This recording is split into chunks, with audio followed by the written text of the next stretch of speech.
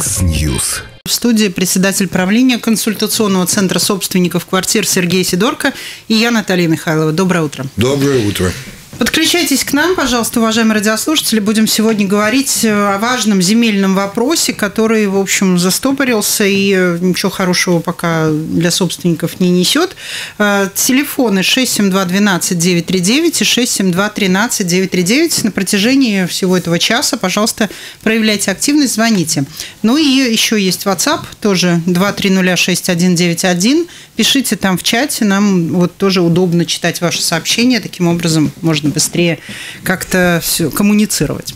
Итак, что у нас с землей?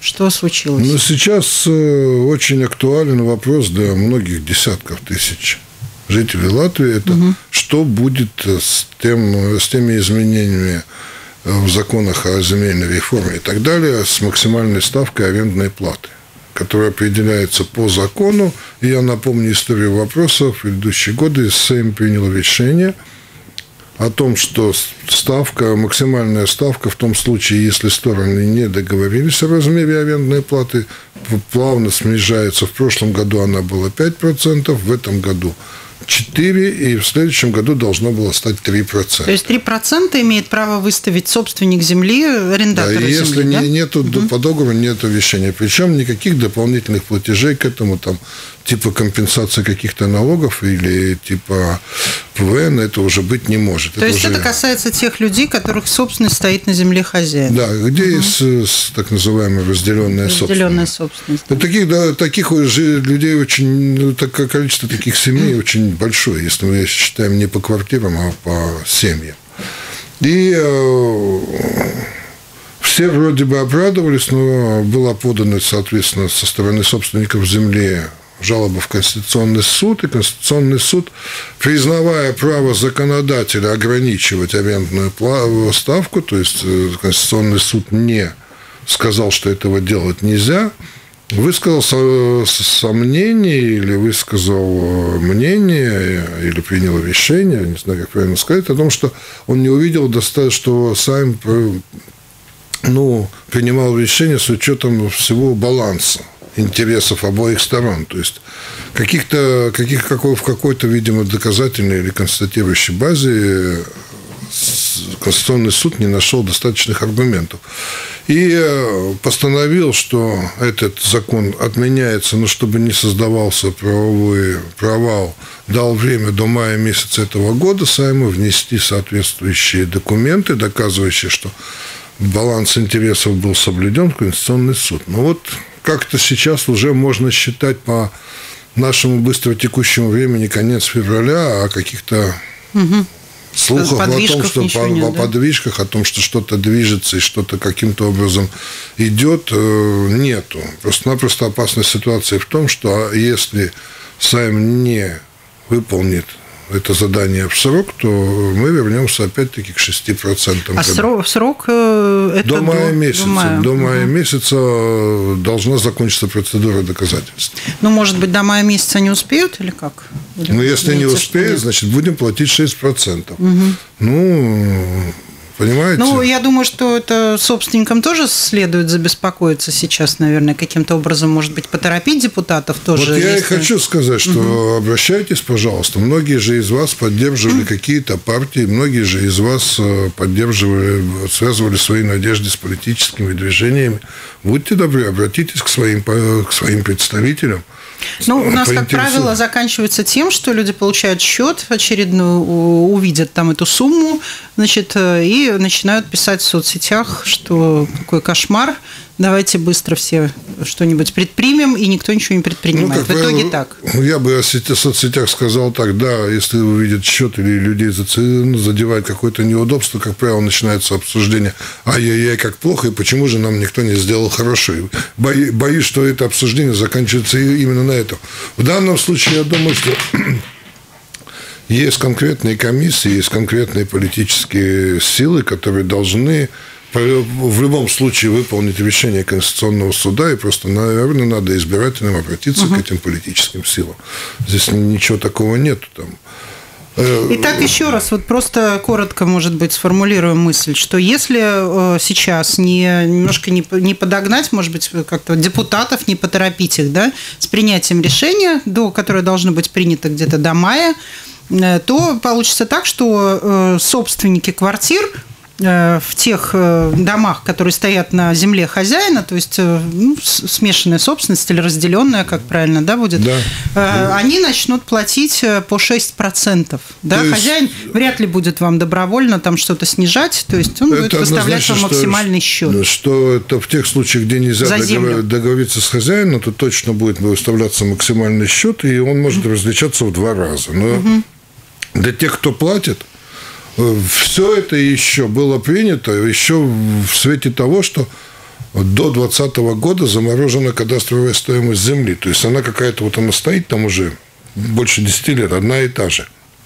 А предполагается, опять-таки, законом о земельной реформе, что с 2020 года стоимость кадастровой земли будет разморожена, и она начнет расти. То есть она будет меняться в зависимости от рынка, а рынок, насколько я понимаю, в городе Риге... Да вообще нигде не дешевеет, по-моему, ничего. Ну, понимаете, здесь тоже... Я, я бы сказал так, что здесь вообще несколько такая ситуация интересная. То есть берется что такое кадастровая стоимость? Это оценка рынка земли в городе Риге. Угу. Ну, какая земля продается, покупается? В основном продается, покупаются свободные участки или участки, ну, где находятся дома под снос. Это предмет рынка, там что-то можно делать.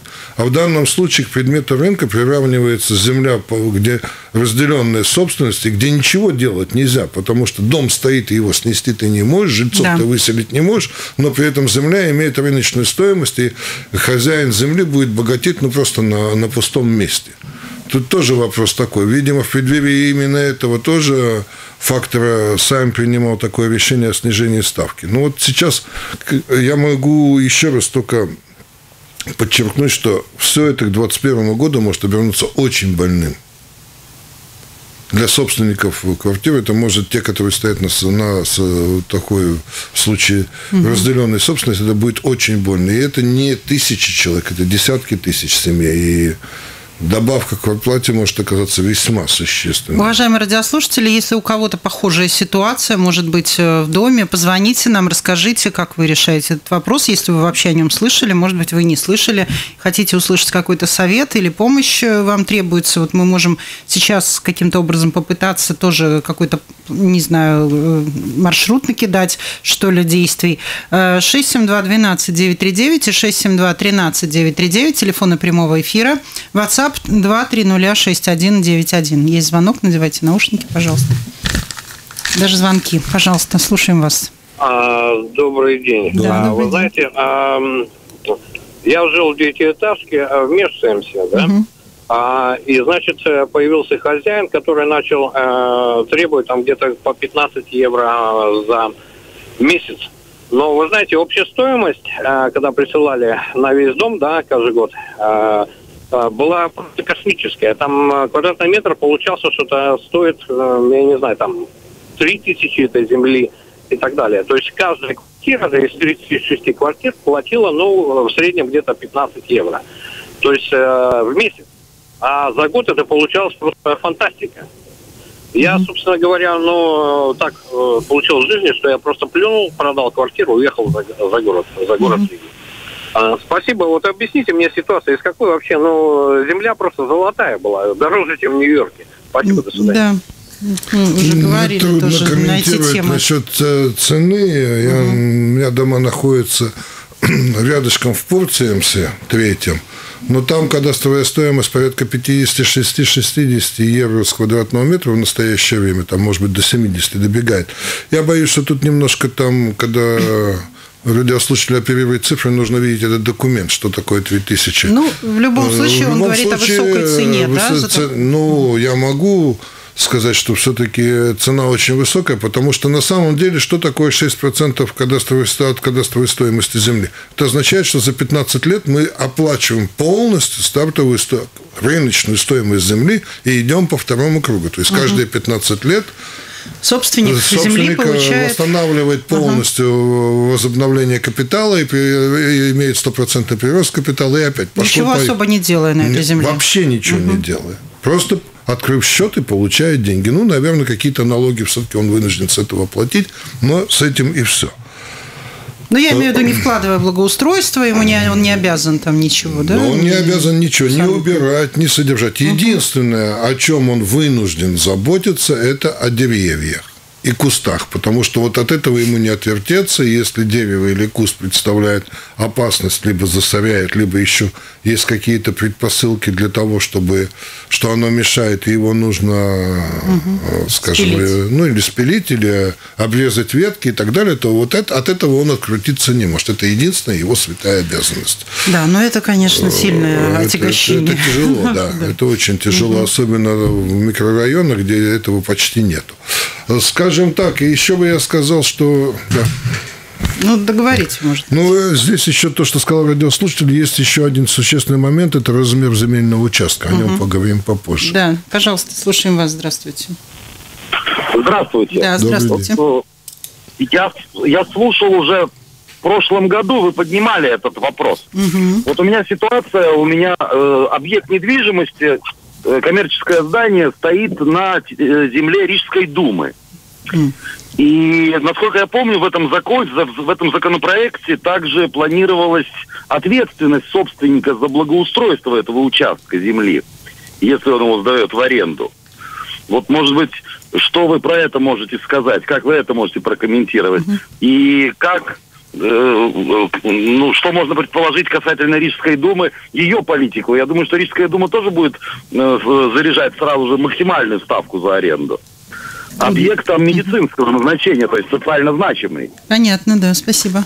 Я, мне очень трудно комментировать этот вопрос. Я могу сказать только одно, что, насколько я помню, то вопрос о том, что надо необходимо землю содержать, убир, ну, содержать, убирать и так далее. Это было в, том, в, в одном из обоснований причин, почему введен такой законопроект о снижении ставки, потому что в существующей практике убирают э, арендаторы, и поэтому это нужно учитывать и снижать арендную ставку.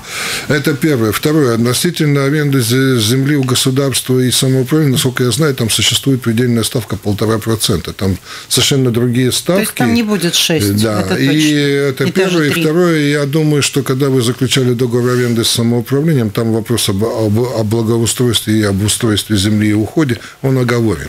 Еще, пожалуйста, слушаем вас. Здравствуйте. Алло, здравствуйте. Да, доброе утро. На самом деле, на самом деле очень актуальная тема. И вам быстро расскажу, в чем проблема здесь состоит, да. Проблема состоит э, на самом деле только в одном, в кадастровой стоимости самого участка земли. Да, то есть э, в этих всех бедах виноват вал который а, определяет вот эту стоимость каждый год, пересчитывая ее, да. И потому, вот, например, э, в Риге, в микрорайонах, да, они считают, что эта земля очень э, много стоит, и там сумасшедшая цена идет на квадратный метр, и потому весь участок, например, полностью получается в районе там 300 тысяч евро или 400 или пол, полмиллиона, да. И потому этот собственник, который имеет эту землю, во-первых, ему надо заплатить полтора процента э, налог на недвижимость, да, и потом, значит, по закону он может взимать до 6 процентов от э, общей стоимости кадастровой стоимости участка. То есть ему еще надо заплатить полтора процента, да. То есть, в принципе, э, виновато государство, которое просто хочет получать большие деньги именно с э, налога на недвижимость, да. И потому, в принципе, э, даже если бы э, даже если бы, например, вот эти полтора процента, все равно, короче говоря, если земля принадлежит собственникам, да, квартир, то все равно надо платить полтора процента. То есть, в принципе, они переплачивают э, в четыре раза дороже, чем э, могли бы платить на самом деле, да, из-за того, что земля принадлежит собственнику, да. Но также самый собственник платит все те же налоги и все то же самое. То есть там особо выигрыша нету. И даже вот если сейчас покупать такую, такой участок, да, он в принципе не ликвидный, абсолютно. А кадастр как делает? Они берут весь рыночный сбор, которые были участки проданы, например, по Риге, и тупо их э, высчитывают среднюю стоимость, да, но это совсем неправильно, потому что они-то берут участки, которые свободные и которые на рынке стоят денег. а не те участки, которые стоят под жилыми домами и отягощенные. И потому вот эта кадастровая стоимость, она просто сумасшедшая. Это ненормально. Угу. Вот. Спасибо. Ну, я не буду спорить насчет кадастровой стоимости. Единственное, хочу сказать, что Государственная земельная служба, она не является самостоятельной организацией. Кадастровая стоимость определяется правилами Кабинета министров. Формирование кадастровой стоимости определено правилами Кабинета министров, а те утверждены еще на основании закона. Так что там э, не надо обвинять исполнителя в том, что у него ножик острый. Ножик острый, потому что ему такой инструмент дали и сказали резать. Это первое. Второе, я не очень э, сочувствую собственникам земли. Есть разные случаи, сразу подчеркну.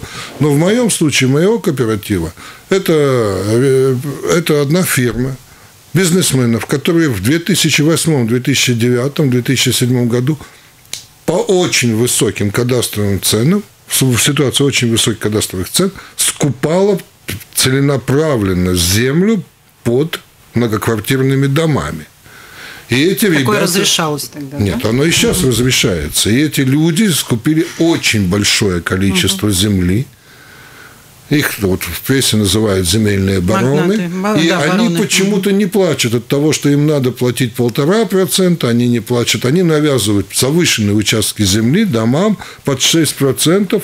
Ну и у радиослушателей только один вопрос. А Скажите, пожалуйста, где вы сейчас можете в депозит разместить свои деньги под 4,5%? Даже под 3%? А это фактически земельный вопрос под э, разделенной собственностью. Он сегодня стоит так, что это была битва за 3% годовых под серьезных денег. Ну, очень неплохой. Без всякого напряга депозит – это очень хорошая вещь. Это первое. Второе, я коснулся бы более актуальный вопрос. Мы никуда не уйдем от кадастровой стоимости, от того, как она меняется. Здесь справедливо радиослушатель сказал о том, что все-таки под жилыми домами, наверное, где разделенная собственность, надо уходить от оценки кадастра, а переходить к тому, что было в свое время. Это образцовая стоимость, она в свое время была. То есть назначалась некая стоимость, и э, когда здание закончит свой срок службы, ну, тогда, наверное, владельцы земли повернутся полностью к справедливости в то время, но не ранее. Пожалуйста, слушаем вас. Здравствуйте. Слушаем. Добрый Доброе утро. Доброе, утро. Э, Наталья, господин Сидорко, доброе утро. Доброе утро, Доброе. У меня вопрос вот такой. Ну, вернее, у меня два вопроса, я попробую быстренько. Во-первых, вот вы правильно сказали, э, что кабинет министров э, цены назначает, ну то есть там распоряжение идет по определенный став. Ну вот я уже несколько раз по этому вопросу звонила. Вот как может конец вот, Имонта, да, Имонта 5, 1200 кусок земли, 1200, да, но она муниципальная была. Мы ее купили, кадастровая цена 47 тысяч. У меня в центре Майри дом, 800 квадратных метров земли кадастровая цена около 8 тысяч. Это что такое? У нас что, в Майере, в Юрмале цена земли дешевле? Это первый. А второй вопрос. Э, скажите, пожалуйста, а нельзя ли наших собственников земли через суд, естественно, обязать заплатить за все коммуникации, за все, что было сделано в советское время, да, и заставить их вот это оплатить, чтобы мы могли потом им меньше, либо мы меньше им должны, да, либо пусть они все это выкупят. Почему мы не можем обратиться с этим даже в Евросоюз?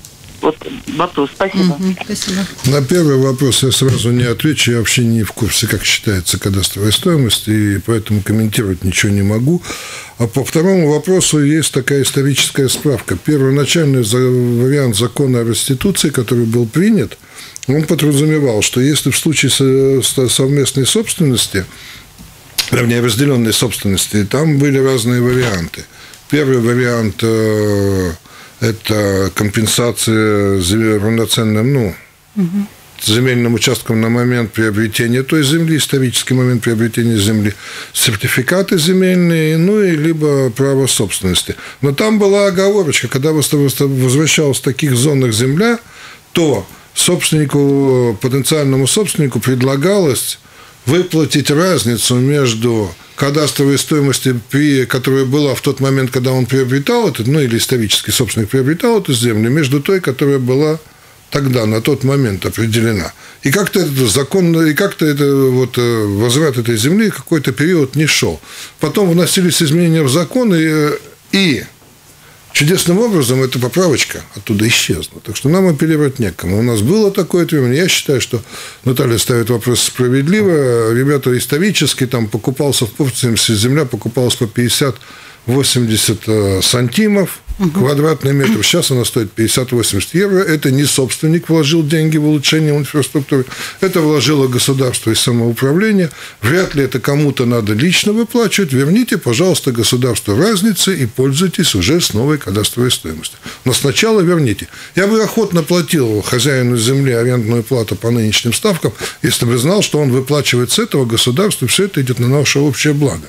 Но получается так, что уважаемый товарищ не, не, не сеял, не пахал, не жал, угу. а сегодня получает.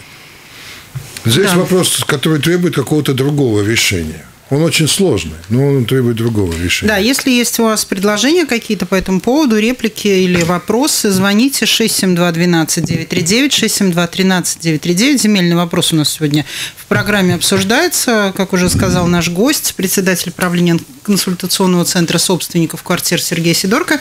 Э, необходимо немножко потеребить, наверное, депутатов да? Э, комиссии ну... Сейма по госуправлению, самоуправлением, которые занимаются как раз этим вопросом. Иначе, если мы до мая ничего не сдвинем этот вопрос с места, то все, у кого вот в доме разделенная собственность, земля э, хозяйская, а квартира ваша, будете платить максимально. Ну, или, по крайней мере, если в Сейме там идет напряженная такая, работа, было да. бы неплохо услышать хоть какой-то отзыв, отклик от законодателей, что вопрос не забыт. Да, пожалуйста, слушаем вас. Здравствуйте. Да. Я хотел сказать такую ситуацию, что можно же сделать по-другому. Выплатить кадастровую стоимость э, владельцам таких земельных участков, чтобы вся земля именно под жилыми домами перешла в собственность государства или муниципалитета Риги. Потому что, допустим, строятся какие-то большие магистрали, мосты, почему-то у людей земли изымаются, не выплачиваются компенсации, строится, допустим, новая дорога. Почему нельзя сделать так? Люди mm-hmm. живут в жилых домах, которые получили квартиры в советское время, а сейчас они, видите ли, на чужой земле, и человек просто с ничего зарабатывает деньги. Я считаю, это несправедливо, и надо просто не обидеть коммерсантов, выплатить им компенсацию и земли перетащить в сторону города, и чтобы жильцы обычные от этого не страдали. Да. Люди зарабатывают, кто-то зарабатывает много, а кто-то пенсионеры ничего, и из них изымают вот эти деньги. А для них это просто огромные деньги, учитывая, что у них пенсии маленькие, а лекарство, оно дорогое. Угу. Вот Спасибо. мое мнение, так что... Спасибо. Не могу мнение. комментировать это мнение, и есть в нем и правда, есть и для меня непонятные ну, вещи, которые трудно... Мне очень трудно скомментировать, потому что я понимаю, что здесь несправедливость, накручивается несправедливость. Один раз отобрали, вернули, Давайте теперь еще, это, еще раз отберем, и это все. Вопрос накручивается. Нужно найти какое-то другое решение, которое было бы в историческом, ну, в какой-то в длительном времени было бы, ну, приемлемым для всех. Компромиссное. Такое, да. да. Значит, э, я хотел бы вернуться к вопросу о размере земельного участка. Угу. Обращаю внимание, и многие радиослушатели, наверное, знают о том, что к их дому привязаны земельные участки, то есть так называемые функционально необходимые земельные участки, размер этого участка, был определен в 90-е годы достаточно произвольно.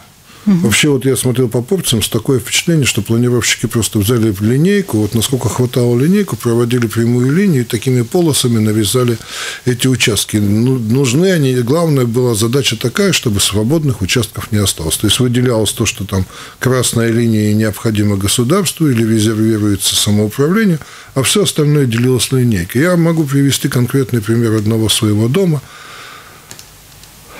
нам был определен вот таким образом линеечным способом где-то порядка около 5 тысяч квадратных метров или 6 тысяч даже квадратных метров земельный участок как функционально необходимый до дома. И на нем находилось три собственника. Один собственник – это были собственники квартир, и два частных, частных владельца. Мы заказали градостроительную расчету и планировку участка, какой действительно по градостроительным нормам нам необходим земельный участок. он сократился до, до, до 3000 метров, вдвое. Угу. И мы через решение судов и так далее добились, чтобы нам не, аренда собственных земли не навязывал лишние полторы там, или две тысячи да. квадратных метров. Сколько и... у вас заняло это времени по судам ходить? Ну, если сказать так, то это года три с половиной, но мы дошли до Сената Верховного суда, то есть наш, наш случай рассматривался как прецедентный. Мы потратили очень солидные деньги на юристов, это было очень угу. недешево.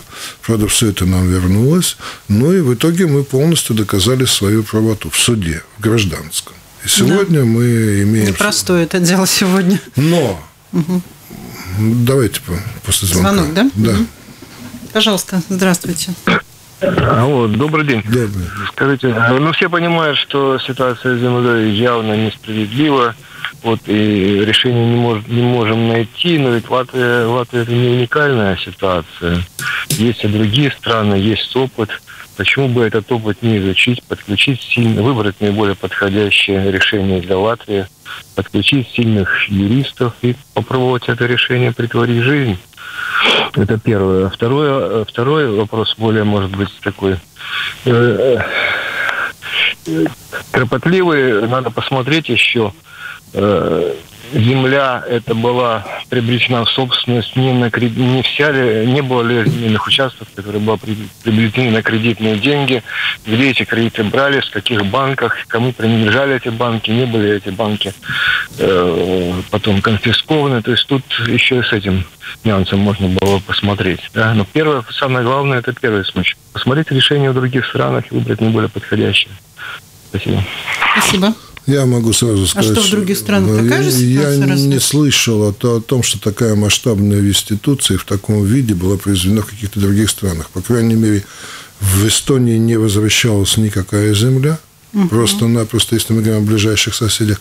А в Литве, в Литве в, в исключительных случаях, в том случае, если собственник земли находился в момент вот, угу Э, реституции находился на этой земле, обрабатывал или использовал эту землю. То есть там очень сложно. В пределах городов, по-моему, я не слышал, чтобы и в Литве возвращали землю, только под частными строителями.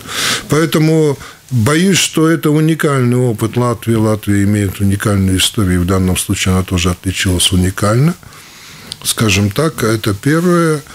Второе, относительно того, были ли куплены в кредит. Да, конечно, все это было куплено в свое время в кредит, потому что земельная реформа и вот та земля, которая в городах отдавалась, она в основной своей массе, за исключением церковных общин, которым принадлежала земля, а вся земля, она, она была в результате Ульманской земельной реформы. Там был специальный банк и так далее. Все это было в кредит. Но на сегодняшний день уже вопрос, насколько я понимаю, поднимать вопрос о том, исторически принадлежала эта земля или нет тем, кто не выплатил кредит, это уже не обсуждается. Если у человека был акт земельной книги о том, что ему принадлежала эта земля, то его наследники имеют право на, на нее.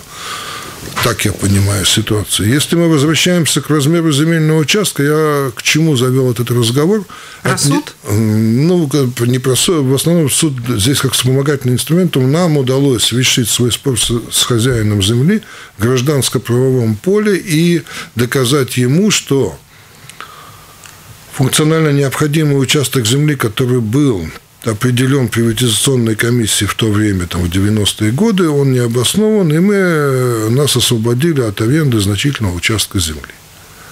И это решение гражданского суда, пускай это будет Верховный суд, Сенат Верховного суда, полный состав, но тем не менее такое решение есть, и оно сегодня в силе. Но одновременно в законе о земельной реформе и так далее, сейчас и в том числе юридическая дума начала пересмотр по жалобам начался, во-первых, размер функционально необходимого участка теперь переходит из гражданского законодательства в административное и определяется решением приватизационной комиссии. То есть она наделена полномочиями перепланировать эту угу. землю. Мы написали заявку в, в приватизационную комиссию в свое время, что на основании наших расчетов просим пересмотреть участок, причем в нашей заявке было и в расчетах доказано, что исходя из латвийских нормативов, оставшиеся обрезки земли владелец земли может использовать как ну, отдельные объекты коммерческого назначения. То есть он ее может вполне самостоятельно эксплуатировать. Меня настораживает вот что. Через два года к нам приходит ответ из приватизационной комиссии, присылаем вам решение о функционально необходимом участке земли и просим высказать свое мнение. Несмотря на то, что мы послали все расчеты, все обоснования, все судебные решения, мы получаем, как Алаверды, опять ответ от приватизационной комиссии. Рассмотрите то, что мы вам спланировали в 90, в 90 году. Угу. То есть громадный участок, который мы никогда исторически не арендовали и который нам не нужен. И вот я хотел бы призвать еще обратить внимание тех собственников, которые сейчас выиграли подобные судебные процессы, на тот факт, что сейчас меняется, изменилось законодательство, теперь правом определять размер функционально необходимого участка, это вот будет опять местное самоуправление, они должны пересмотреть по, и перепланировать по своему усмотрению, по согласованию с жителями. Если вы упустите момент согласования, то вы можете вернуться, несмотря на все решения гражданских судов, на исходные позиции. И опять начинать спорить через административный суд. Это новое судопроизводство, это новые процессы. Да, весело. Поэтому надо очень быть внимательным к тому, что вам сейчас сообщают насчет земельных участков. Пожалуйста, еще один звонок, наверное, будем заканчивать. Пожалуйста, слушаем вас. Здравствуйте. Добрый день. Добрый. Вот у меня такой вопрос. Скажите, как обстоят дела с тротуарами, которые находятся в центре города? Вот наш дом находится в центре города и выходит на три улицы, да? И вот меня интересует такой вопрос. Мы дом наш на самоуправлении, и все три улицы убирает наш дворник, которого оплачиваем мы. Вот как обстоит э, вот с этим вопросом? Не, не должна ли Рижская дума каким-то образом компенсировать нам эти затраты? Потому что три улицы – это Бривибас, Стабу и Сколос. Фу, Базницус э, убирает наш дворник. Это огромная территория, на угу. которой находятся и магазины, и кафе, и там другие учреждения. Понятно, вот да. Вот как спасибо. стоит такой вопрос? Есть правила, обязательные правила Рижской думы по содержанию зданий, сооружений и территорий, где сказано, что собственник здания обязан описаны все его обязанности по уборке прилегающей территории. В этих же правилах, вот в вашем случае дома поясан с трех сторон, ну, значит, даже независимо от того, входит ли тротуар в вашу землю или нет, вы обязаны его убирать, потому что есть такое положение в этих правилах, которое говорит, что угу. собственник здания, точнее, собственник земли должен убирать все, что находится за его территорией и до дороги общественного значения. Эти участки земли называются, ну, как сейчас я скажу, как участки публичного пользования, поэтому Рижская дума рассматривает, что вы должны. В свое время был очень постоянно идет спор значит, на эту тему такой якобы несправедливости. Значит, дело в том, что если у вас, допустим, вот в Пурцемсе у нас дом стоит в 30 метрах от дороги, его земельный участок кончается в 5 метрах от самого здания. Оставшиеся 25 метров до дороги мы обязаны убирать по правилам Рижской думы. Солидный участок. И, в общем-то, хорошие затраты, которые ложатся... Ведь вся проблема в том, что все эти затраты ложатся на плечи собственника здания, то есть на, на собственников квартир. Ну, казалось бы, несправедливая ситуация. В свое время ее задавали господину Америксу, я помню, здесь на Болткоме, он сказал, что ну, а что нормально, ну, города денег нету, а это нормально, ведь все же ходят, вот пускай собственники убирают. Ну, ответ был более для меня чем невразумительный, но я его достаточно точно воспроизвожу. В свое время было подано жалоба в Конституционный суд, долгие рассмотрения, несколько раз. Сейчас есть такое решение. Если публичный прилегающий участок публичного использования более чем 50% чем основной земельный участок, к которому он прилегает, то в этом случае самоуправление должно участвовать в затратах. Причем в каком объеме, в каких размерах, никто не сказал. Может быть, кто-то воспользовался этим правом, но на самом деле сегодня по уборке прилегающих территорий есть два для меня очень больших вопроса. Первый – вот как задала радиослушательница, довольно часто бывают эти объемы непомерные на один дом и совершенно маленькие на другой. То есть распределение очень такое неравномерное. И второе, то, что на самом деле на сегодняшний день при всем уважении к людям, которые обеспечивают чистоту на улицах, дворников, это непосильный труд, и сегодня теми методами, которыми мы убираем улицы, если мы хотим вообще добиться какого-то результата, то нужно думать совершенно о других принципах распределения работ по уборке, других технологиях и объединении участков, чтобы туда было выгодно сразу на большие площади запускать технику, чтобы это было своевременно, быстро и качественно.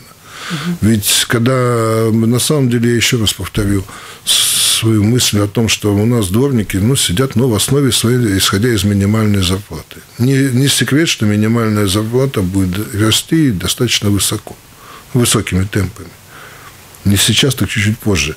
На самом деле эти затраты без повышения производительности труда будут все время повышаться. То есть тут не надо быть большим экономистом, чтобы понимать, что удорожание будет происходить существенными темпами. Поэтому здесь нужно искать другие подходы. И, наверное, нужно вот здесь смотреть на опыт других государств.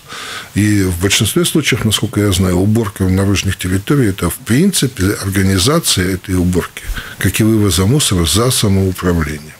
То есть оно уже организует такие большие участки, оно, оно регулирует, оно не убирает, но оно регулирует этот бизнес с тем, чтобы он был и эффективным, и чтобы можно было развиваться. Ну что, на этом все сегодня. Спасибо большое всем радиослушателям и председателю управления консультационного центра собственников квартир Сергею Сидорко. Спасибо. До следующего раза.